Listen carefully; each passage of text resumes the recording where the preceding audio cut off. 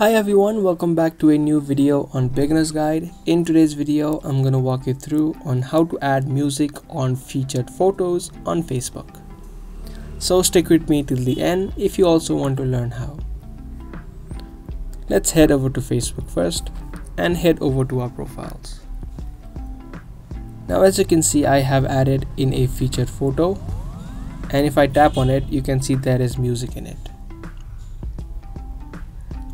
The only way that you can add in music to your featured photos is that if you added featured photo from your story which also had the music. If your story previously didn't have any music, then you won't be able to add it on the features section only.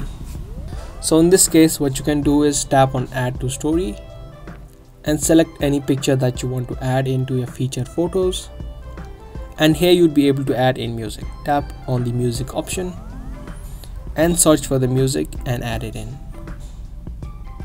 Once the music has been added you can now tap on share but if you don't want other people to view your story you can tap on the privacy setting and you can tap on custom and you can select only one person who can view that story. After you manage the setting you can tap on share.